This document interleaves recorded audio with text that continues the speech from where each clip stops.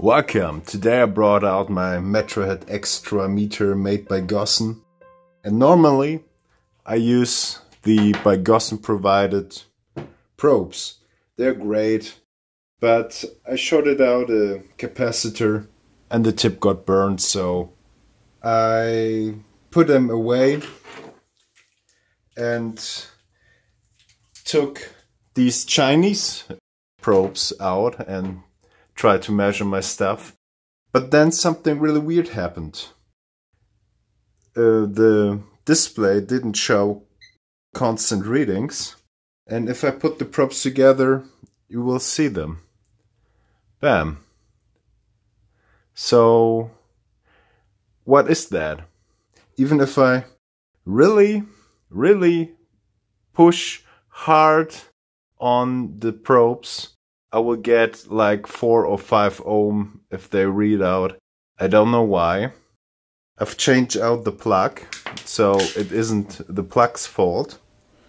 And I can't really work with them. I don't know why. I, I um, was flabbergasted by this result. I really need to put hard pressure on the probe and pierce the chrome coating of my probes to get it to it. So if I just lay the two surfaces on it, it won't do it.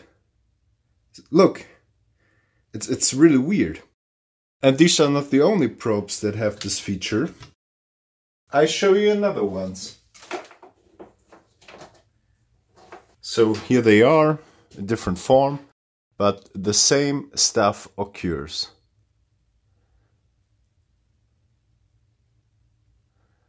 Well, this time it will work. That's weird. That's really weird. 5 ohms.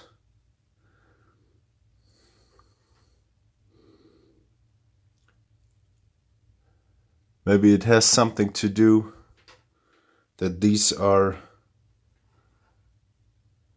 feathers or banana plugs if you want to call them. But still, it's not constant.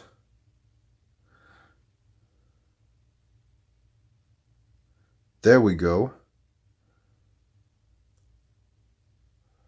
Do you see that? But if I to plug the banana plug directly into it, bam, 0.07 ohms. That's what you expect. And not this crappy bullshit of 15 ohms or some kilo ohms or even meg ohms. What, what, what is that? Why does it do that? That's a problem I've never had. So of course I needed some new test leads.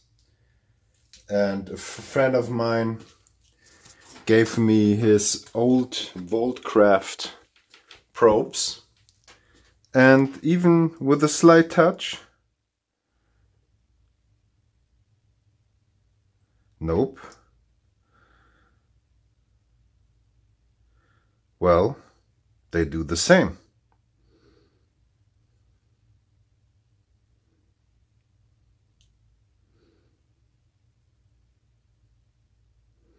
That's really weird. It is really weird. And these are some cheap Fluke Fluke uh, points or probes. And they just work. 0.3 ohms 0.2 ohms. That's alright for me. That that will work. Well at least it's consistent. There you go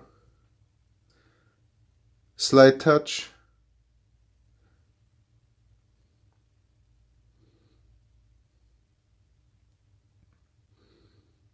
And it jumps around.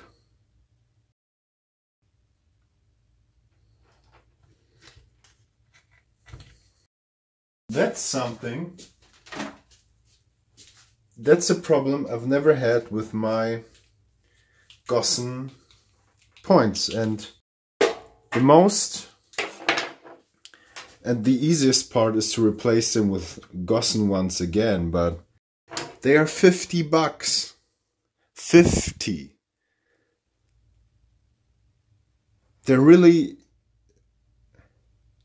expensive, but you say a slight touch, bang.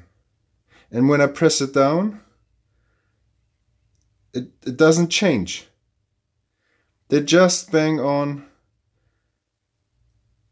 I, I don't know why these are so much better than the other ones. But hey, I don't have 50 bucks. So now I bought um, a nice Fluke set. This is a three-in-one um, set. It has three features included. I put the old uh, caps on them I had with the other probes for my Gossen because they have also banana plugs. Normally you unscrew the banana plug for these tips so you can put the sleeve on it by twisting them. But it's it takes so much time. So I just put the other sleeves on them. I, I like to poke around and put them in banana plugs. I just use them regularly. They're also fine.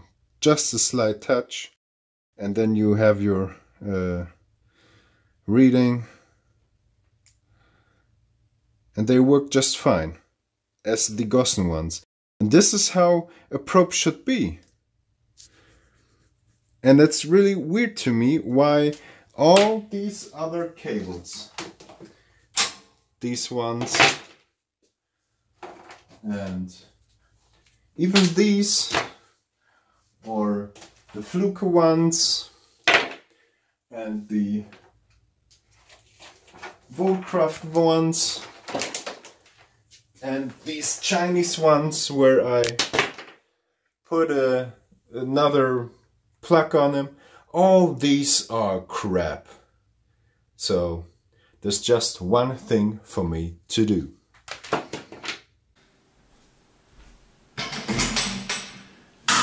Bye bye you stupid test leads nobody needs and won't work oh man. I hate those